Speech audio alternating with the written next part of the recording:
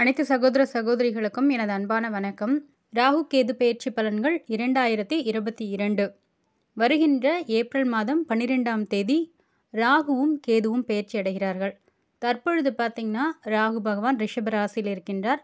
கேது பகவான் பார்த்திங்கன்னா விருச்சிக ராசியில் இருக்கிறார். ஏப்ரல் பன்னிரெண்டுக்கு அப்புறம் பார்த்திங்கன்னா ராகு ரிஷப ராசியிலிருந்து மேஷ ராசிக்கும் கேது விருச்சிக ராசியிலிருந்து துலாம் ராசிக்கும் பயிற்சி அடைகிறார்கள். பொதுவாக பார்த்திங்கன்னா இந்த ராகுவும் கேதுவும் மற்ற கிரகங்களைப் போல அல்லாமல் பார்த்திங்கன்னா வக்ரமாக சுற்றுவாங்க அதாவது ஆன்டி கிளாக் வைஸ் வந்து சுற்றுவாங்க ராகுவுக்கும் கேதுவுக்கும் பார்த்திங்கன்னா சொந்த வீடுகள் அப்படின்றது அந்த பன்னிரெண்டு ராசி கட்டத்துலேயும் கிடையாது. ஸோ எந்த வீட்டில் அவங்க இருக்காங்களோ அந்த வீட்டின் பலனை அந்த ராசி அதிபதியோட பலனை வந்து இவர்கள் இருவரும் வந்து நம்முடைய ஜாதகத்தில் வந்து எடுத்து செய்யக்கூடியவர்கள். இந்த கோச்சார ரீதியில் பார்த்திங்கன்னா ஒரு ஒரு ராசி கட்டத்திலையும் பதினெட்டு மாதங்கள் வரைக்கும் இருந்து தன்னுடைய பலன்கள் அப்படின்றத வந்து தருவாங்க. அதாவது ராகுவும் கேதுவும் பார்த்திங்கன்னா ஒரு நிழல் கிரகங்கள். எங்கே இருக்காங்களோ அந்த ராசி ராசியையும் அந்த ராசி அதிபதியின் தன்மைக்கேற்ப அப்படியே வந்து பிரதிபலிக்கக்கூடியவர்கள். எந்த கிரகங்கள் எல்லாம் வந்து ராகு கேதுவை தொடர்பு கொள்கின்றார்கள்?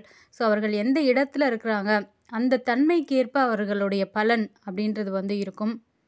ஸோ இயற்கை பாவர்கள் என்று சொல்லக்கூடிய இந்த இரு இரண்டு கிரகங்களுமே பார்த்திங்கன்னா வாழ்வில் வந்து ஒரு பெரிய மாற்றங்களை வந்து உருவாக்கக்கூடியவர்கள் இந்த ராகுவும் கேதுவும். பொதுவாக பார்த்திங்கன்னா இந்த இரண்டு கிரகங்களுமே பார்த்திங்கன்னா ஒரு தடைக்கு உண்டான கிரகங்களாகவே வந்து நம்ம பார்த்துட்ருக்கோம். ஸோ இந்த பெயர்ச்சி அப்படின்றது வந்து ஒரு அதிரடியான ஒரு பெயர்ச்சியாக இருக்கும். ராகு அப்படின்றவர் பார்த்திங்கன்னா எந்த கட்டத்தில் நிற்கிறாரோ அந்த அதாவது எந்த ராசி கட்டத்தில் இருக்கின்றாரோ அந்த பாவக தன்மைக்கேற்ப தன்னுடைய பலன்களை வந்து இரட்டிப்பாக செய்யக்கூடியவர் தான் ராகு. கேது அப்படின்றவர் பார்த்திங்கன்னா எந்த பாவகத்தில் எந்த ராசி கட்டத்தில் இருக்கிறாரோ ஸோ அந்த பாவகத்தின் தன்மையை அப்படியே வந்து அதில் ஒரு விரக்தியையும் அதில் ஒரு ஞானத்தையும் கொடுக்கக்கூடியவர் தான் இந்த கேது பகவான். ஸோ ராகு போகக்காரகன் இந்த கேது அப்படின்றவர் பார்த்திங்கன்னா ஞானக்காரகன். பொதுவாகவே பார்த்திங்கன்னா இவர்கள் வந்து அதாவது ராகு வந்து இப்போது பதினொன்றில் இருக்கிறாரு அப்படின்னா கேது வந்து ஐந்தில் தான் இருப்பார். இப்போ ஐந்து பதினொன்றில் வந்து ராகு கேதுக்கள் இருக்கக்குள்ள ஸோ ஒருவர் வந்து அந்த பதினோராம் இடத்துல இருக்கிற கிரகம் அப்படின்றது வந்து நல்லது செய்யலாம்.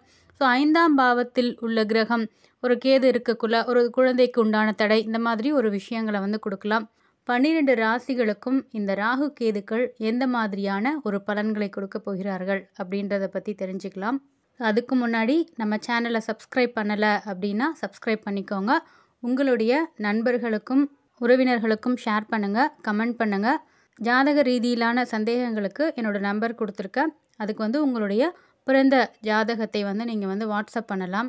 அப்புறம் இன்னும் ஒரு முக்கியமான விஷயம் என்ன அப்படின்னு பார்த்தா இந்த கோச்சார கிரகங்களுடைய பயிற்சி. பொதுவாகவே சனியாக இருக்கட்டும் குருவாக இருக்கட்டும் ராகு கேதுக்களாக இருக்கட்டும் இந்த கோச்சார ரீதியிலான கிரகங்கள் ஏன் பலன் கொடுக்கல அப்படின்ற ஒரு சந்தேகங்களும் அப்படின்ற ஒரு தாக்கங்களும் நிறைய பேருக்கு வந்து இருக்குது ஸோ அது ஒரு கஷ்டமாகவே நிறைய பேருக்கு இருக்குது அப்போ வந்து ஜோதிடம் பொய்யா?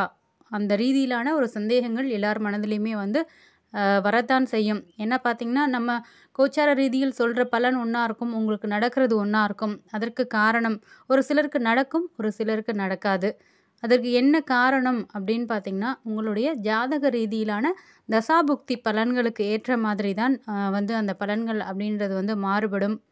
ஏன்னா ஒரு சிலருக்கு வந்து நடந்துடும் ஒரு சிலருக்கு நடக்கலை அப்படின்னா காரணம் வந்து உங்களுடைய ஜாதகத்தில் உள்ள கிரகங்களுடைய தசாபுக்திகளின் அமர்வு. துலாம் ராசி நேர்களை பொறுத்த வரைக்கும் இதுவரைக்கும் உங்களுடைய ராசிக்கு எட்டாம் இடத்தில் இருந்த ராகு உங்களுடைய ராசிக்கு ஏழாம் இடத்திற்கும் அதாவது ஏழாம் இடமான களத்திர ஸ்தானத்திற்கும் உங்களுடைய ராசிக்கு இரண்டாம் இடமான தன குடும்ப வாக்குஸ்தானத்தில் இருந்த கேது இப்பொழுது உங்களுடைய ராசியிலே வந்து சஞ்சாரம் செய்ய போகிறாங்க இந்த காலகட்டத்தில் பார்த்திங்கன்னா துலாம் ராசி நேயர்களுக்கு இந்த பொருளாதார தடை பொருளாதார சிக்கல் அப்படின்றது வந்து நீங்கள் குடும்பத்தில் வந்து ஒரு சில இஷ்யூஸ் இருந்திருக்கும். உங்களுடைய குடும்ப உறுப்பினர்களோட அதெல்லாம் வந்து நீங்கள் இந்த கேது பார்த்திங்கன்னா இந்த உங்களுடைய ராசிக்கு இரண்டாம் பாவத்திலேருந்து ராசியிலே வந்து சஞ்சாரம் செய்கிறார். இந்த தன குடும்ப வாக்குஸ்தானம் இரண்டாம் பாவம். சரிங்களா? ஸோ அந்த இடத்துல இருந்து அவர் விலகிறதுனால உங்களுக்கு இந்த பொருளாதார சிக்கல் அப்படின்றது கொஞ்சம் விலகும். குடும்ப உறுப்பினர்கள்கிட்ட இவ்வளோ நாள் ஏதாவது பகைமை பாராட்டி இல்லை மனசங்கடங்களோடு இருந்தீங்கன்னா அதெல்லாம் வந்து அந்த கருத்து வேறுபாடுகள்லாம் நீங்கி ஒரு இணக்கமாகதற்கான வாய்ப்புகள் வந்து துலாம் ராசி நேர்களுக்கு உண்டு. உடல் ஆரோக்கியம் பற்றிய சிந்தனை ஒரு நாள் வந்து ஆயிலை பற்றிய ஏதாவது ஒரு பயங்கள் இது விபத்துகள் கூட நடந்திருக்கும் ஏன்னா ராகு உங்களுக்கு வந்து எட்டில் இருந்தார் கடந்த ஒன்றரை வருடங்கள்.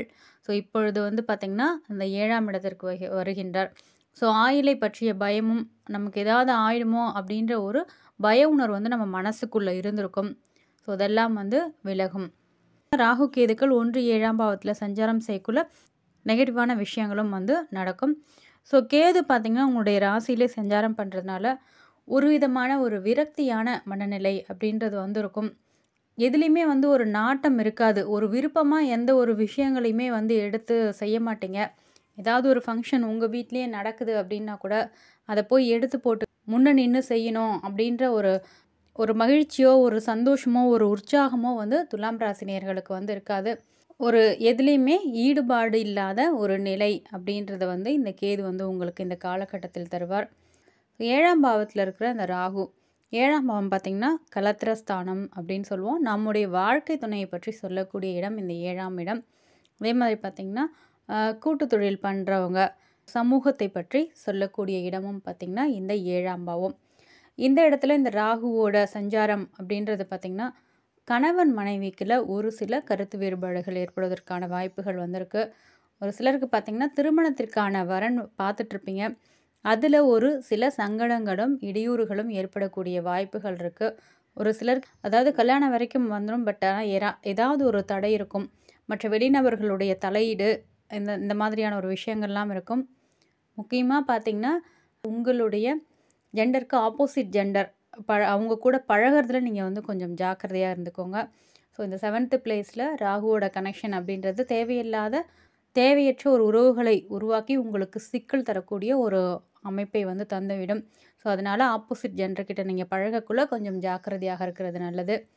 கணவன் மனைவிக்குள்ள ஒரு சில மனத்தாங்கல்கள் வரக்கூடிய நிலை இருக்குது அதே மாதிரி இந்த பார்ட்னர்ஷிப் பிஸ்னஸ் பண்ணுறவங்க உங்களுக்குள்ள ஒரு அண்டர்ஸ்டாண்டிங்கோடு போங்க. ஸோ உங்களோட தொழிலுக்குள்ளே மற்ற மூன்றாம் நபரோட தலையீடு ஏதாவது இருக்கிறத கண்டிப்பாக வந்து அனுமதிக்காதீங்க. உங்கள் தொழில் என்னவோ அந்த டெசிஷன் மேக்கிங் வந்து நீங்கள் ரெண்டு பேர் பண்ணுற மாதிரி பார்த்துக்கோங்க ஸோ அந்நிய நபர்களோட தலையீட்டை அனுமதித்தீர்கள் என்றால் அது ஒரு சில பிரச்சனைகளுக்குரிய ஒரு விஷயமாக வந்து அமையும். மற்றவர்களுடைய தலையீட்டை உங்களுடைய விஷயங்களில் கண்டிப்பாக நுழைத்து கொள்ள வேண்டாம். முடிந்த வரைக்கும் இந்த காலகட்டங்களில் ஒரு காளஹஸ்திக்கு சென்று வருவது. என திருமண தடை இருப்பவர்கள் காளஹஸ்திக்கு சென்று வருவது. திருப்பாம்புரம் சென்று வருவது. உங்களுக்கு அந்த தடை ராகு கேதுவால் ஏற்படக்கூடிய ஒரு தடையை வந்து விளக்கும்.